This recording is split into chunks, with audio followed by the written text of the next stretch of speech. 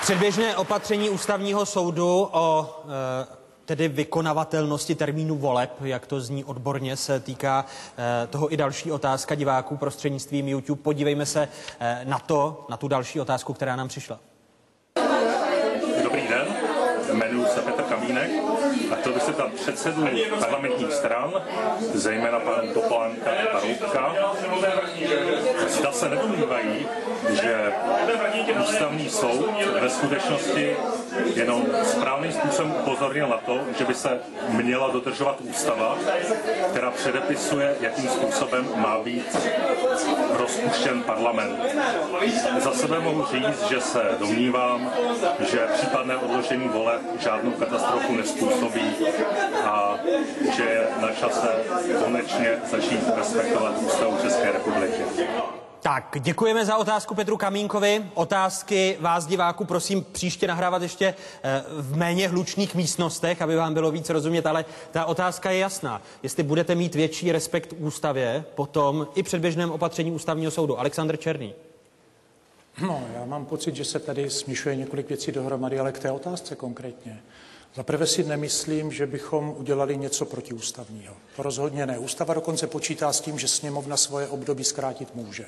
Kdyby tomu bylo opačně a chtěli bychom si volební období byť o den nebo o měsíc prodloužit, chápal bych zásah ústavního soudu jako naprosto legitimní. To jsme ale neudělali. A zkrátit volební období to můžeme. To ústava přímo předpokládá.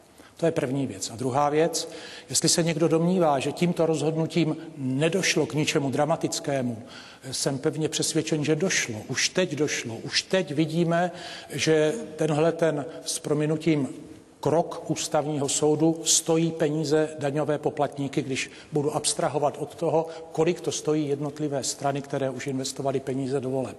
Ale to, aby Ale... ty volby nebyly spochybněny, říká Pavel Rychecký zcela jasně, že to je přece to daleko větší veřejný zájem než peníze, které už byly vynaloženy. Já pevně věřím, že to tak bude a že nakonec ty předčasné volby budou. Ale kdyby náhodou byl ten termín posunut, tak se obávám, že si zahráváme opravdu s penězi a s blahobytem nás všech, protože ale rozpočet. poučení se, jasná odpověď, poučení se vás, politiků, abyste šetrněji nakládali s ústavou, tam nevidíte.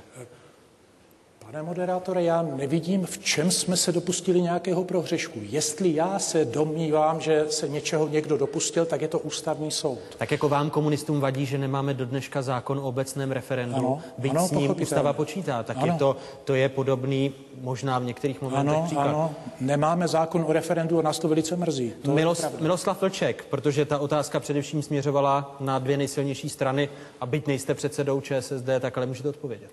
Tak já myslím, že předčasné volby určitě budou, protože dnes eh, jsme eh, na ten nosič eh, sněmovního tisku číslo 16 dali pozměňovací návrhy a mělo by se to hlasovat asi v pátek dopoledne.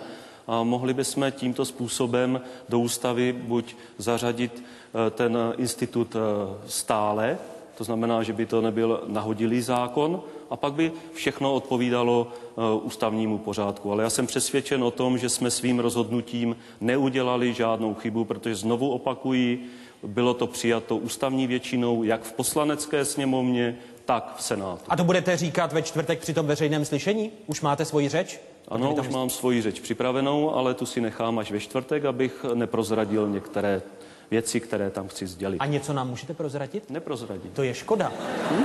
protože my bychom to tady rádi slyšeli. Ivan Langer.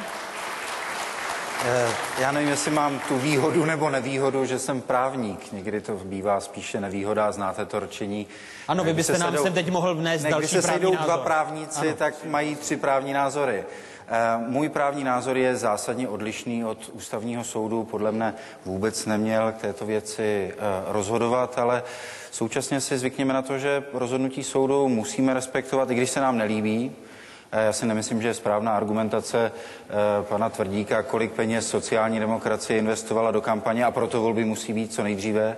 Já myslím, že si všichni přejeme, aby volby byly co nejdříve, aby jsme měli politickou vládu se silným mandátem aby se minimalizovalo riziko rozpočtového eh, provizoria a já pevně věřím, že ústavní soud eh, rozhodne ve čtvrtek, nejpozději pátek v tom smyslu, že nevyhoví panu poslanci Melčákovi.